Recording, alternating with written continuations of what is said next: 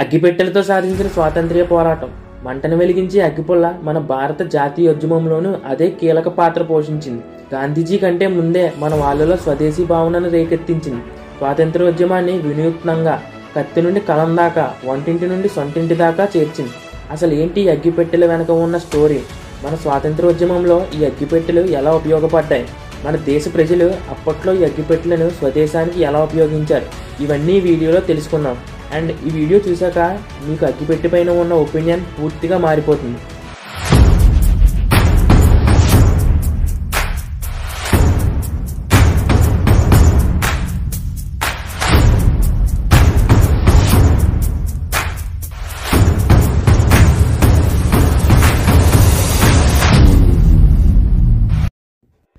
పంతొమ్మిదో శతాబ్దాల చివరిలో అగ్గిపెట్టెలను యూరప్లో తయారు చేసి భారత్కు దిగుమతి చేసేవారు. అయితే అప్పటికే కొంతమంది జపనీయులు కోల్కత్తాలో స్థిరపడడం జరిగింది. అలా కోల్కత్తాలో స్థిరపడ్డ జపనీయుల సాయంతో పంతొమ్మిది వందల ఐదు పంతొమ్మిది వందల పది సంవత్సరాల మధ్యకాలంలో తొలిసారిగా భారత్లో అగ్గిపెట్టెల తయారీ మొదలైంది. అయితే మొదటి ప్రపంచ యుద్ధం తర్వాత ఈ అగ్గిపెట్టెల పరిశ్రమను తమిళనాడుకు తరలించారు. అలా యూరప్ నుండి దిగుమతి అయినప్పుడు అగ్గిపెట్టెల పైన పాశ్చాత్య దేశాల బొమ్మలు మాత్రమే ఉండేవి. అంటే ఫారెన్ కంట్రీస్ యొక్క ఇమేజెస్ మాత్రమే అగ్గిపెట్టెలపై ప్రింట్ చేసి ఉండేవన్నమాట. కానీ ఎప్పుడైతే భారత్లో తయారవడం మొదలైందో వాటిపై స్థానిక దేవుళ్ళ బొమ్మలను ముద్రించడం మొదలుపెట్టారు. అయితే ఇంతలో జాతీయోద్యమంలో ఫ్రీడమ్ ఫైటర్స్ అయిన బాల గంగాధర్ తిలక్ బిపిన్ చంద్రపాల్ లాంటి తదితరులు అప్పుడప్పుడే స్వదేశీ మంత్రం పఠించడం మొదలైంది. స్వదేశీ మూమెంట్ అనేది భారత స్వాతంత్ర ఉద్యమంలో ఒక భాగం మరియు భారత జాతీయవాద అభివృద్ధికి దోహదపడింది. ఇదే సమయంలో బెంగాల్ విభజనను కూడా ప్రారంభమైంది. అప్పటికే మన దేశాన్ని నాశనం చేస్తున్న బ్రిటిష్ పాలకులు బెంగాల్ని విభజించి పాలించాలని సన్నాహాలు సిద్ధం చేస్తున్నారు.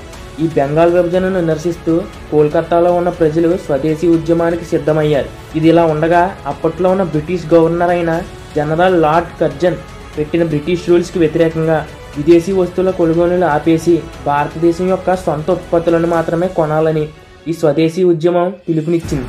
అలా అందరికంటే ముందే ఈ అగ్గిపెట్టెల పరిశ్రమ ఈ నిర్ణయాన్ని అందిపుచ్చుకుంది. అలా ఈ అగ్గిపెట్టెల పరిశ్రమ అప్పటి వరకు అగ్గిపెట్టెలపై ముద్రించిన దేవుళ్ళ చిత్రపటాల స్థానంలో జాతీయోద్యమ నేతల చిత్రాలు మరియు స్వదేశీ భావనను రేకెత్తించే చిత్రాలను ముద్రించడం మొదలుపెట్టింది.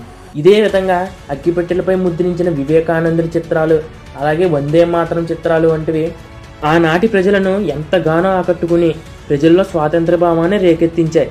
తద్వారా దేశభక్తితో తమ అమ్మకాలను పెంచుకునేందుకు అగ్గిపెట్టెల ఉత్పత్తిదారులు పోటీపడి మరీ స్వాతంత్రోద్యమ చిత్రాలను ముద్రించడానికి మొదలుపెట్టారు. ఇలా మిగిలిన ప్రాంతాల్లో వారు కూడా వారి వారి స్థానిక భాషల్లో విప్లవకారుల చిత్రాలను ముద్రించడం ప్రారంభించారు. ఇలా కోల్కతా నుంచి మొత్తం భారతదేశం అంతా ఈ స్వదేశీ జ్వాల రాసుకోవడం ప్రారంభమైంది. కొద్ది రోజులకు మరింత ఆసక్తికరంగా సినిమాలకు జాతీయోద్యమానికి ముడిపెడుతూ ఈ అగ్గిపెట్టెలను ప్రచారానికి వేడుకగా వాడుకోవడం విశేషం.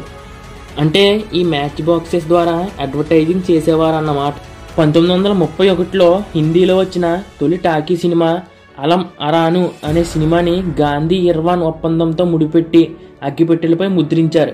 గాంధీ ఇర్వాన్ ఒప్పందం అనేది అప్పుడున్న బ్రిటిష్ ప్రభుత్వం కాంగ్రెస్ ప్రభుత్వంతో ఒక ఒప్పందాన్ని కుదుర్చుకుంది. ఆ ఒప్పందాన్నే గాంధీ ఇర్వాన్ ఒప్పందం అని అంటారు. అదే ఏడాది గాంధీ ఇర్వాన్ ఒప్పందం జరిగింది. ఫలితంగా అప్పటికి జరుగుతున్న ఉప్పు సత్యాగ్రహం ముగిసింది.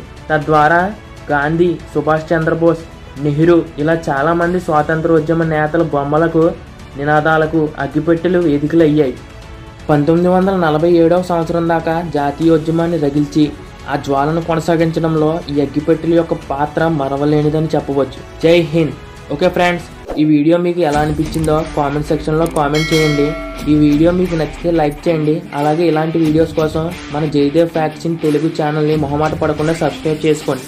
Thanks for watching your faithfully signing off Jayadev faction Telugu